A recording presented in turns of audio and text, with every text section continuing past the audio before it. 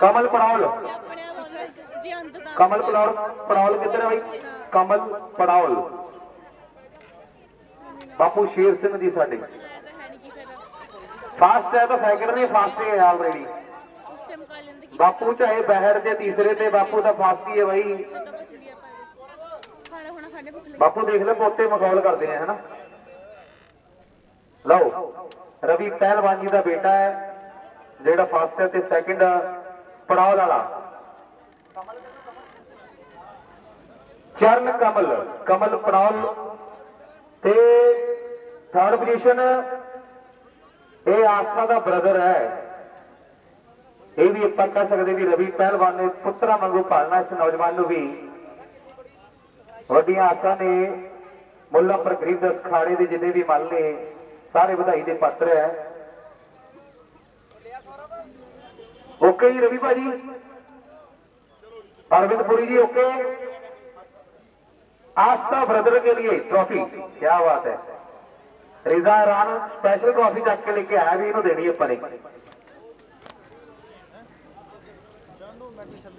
ਵਾਹਿਗੁਰੂ ਜੀ ਕਾ ਖਾਲਸਾ ਸ੍ਰੀ ਵਾਹਿਗੁਰੂ ਜੀ ਕੀ ਫਤਿਹ ਦੇਖੋ ਆਪਣੇ ਬੱਚਿਆਂ ਨੂੰ ਪਿਆਰ ਕਰੋ ਪਿਆਰ ਨਾਲ ਰਿਸ਼ਤਾ ਕਰੋ ਤਾਂ ਹੀ ਪਿਆਰ ਹੋਣਾ ਜੇ ਪਿਆਰ ਕਰੋਗੇ ਬੱਚਿਆਂ ਨੂੰ ਆਪਣੇ ਨੂੰ ਕਰਨਾ ਬਣ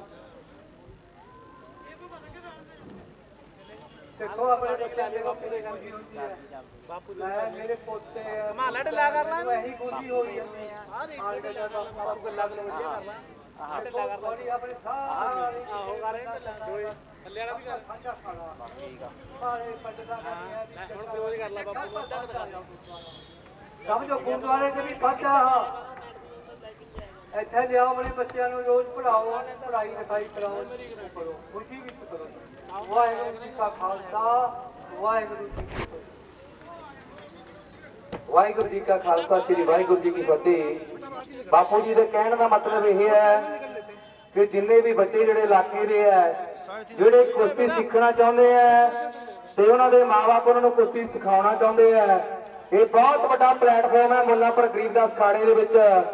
ਜਿੱਥੇ ਕੁਸ਼ਤੀ ਦੀ ਸਿਖਲਾਈ ਦਿੱਤੀ ਜਾਂਦੀ ਹੈ ਤੇ ਮੈਨੂੰ ਲੱਗਦਾ ਵੀ ਥੋੜੇ ਸਮੇਂ ਦੇ ਵਿੱਚ ਇੱਕ ਵੱਡੀ ਕਾਮਯਾਬੀ ਜਿਹੜੀ ਉਹ ਇਸ ਖਾੜੇ ਨੂੰ ਮਿਲੀ ਹੈ। ਔਰ ਸਾਰੇ ਭਰਾਵਾਂ ਦਾ ਧੰਨਵਾਦ ਹੈ ਵੀ ਸੱਤੇ ਬਾਈ ਤੁਹਾਡਾ ਵੀ ਧੰਨਵਾਦ ਹੈ ਕਿ ਵਾਲਾ ਵੀਰ ਮੁਬਾਰਕਾ ਵੀ ਨੇ, ਪੁੱਤਰ ਥਰਡ ਪੋਜੀਸ਼ਨ ਹਾਸਲ ਕੀਤੀ ਹੈ। ਬਹੁਤ ਬਹੁਤ ਧੰਨਵਾਦ ਸਾਰੇ ਭਰਾਵਾਂ ਦਾ, ਆਈ ਹੋਈ ਸੰਗਤ ਦਾ ਧੰਨਵਾਦ। ਵਾਹਿਗੁਰੂ ਜੀ ਕਾ ਖਾਲਸਾ, ਸ੍ਰੀ ਵਾਹਿਗੁਰੂ ਜੀ ਕੀ ਫਤਿਹ। ਜੋ ਬੋਲੇ, ਰਹਿੰਦਾ ਹਲੇ ਕੰਮ।